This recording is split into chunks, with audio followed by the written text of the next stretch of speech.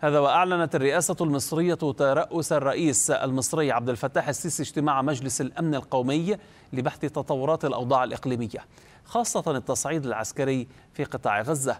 وقال المتحدث باسم رئاسة الجمهورية إنه صدر عن الاجتماع عدة قرارات تتعلق بمواصلة الاتصالات مع الشركاء الدوليين والإقليميين من أجل خفض التصعيد ووقف استهداف المدنيين مع تكثيف الاتصالات مع المنظمات الدولية والإغاثية والإقليمية من أجل إيصال المساعدات المطلوبة.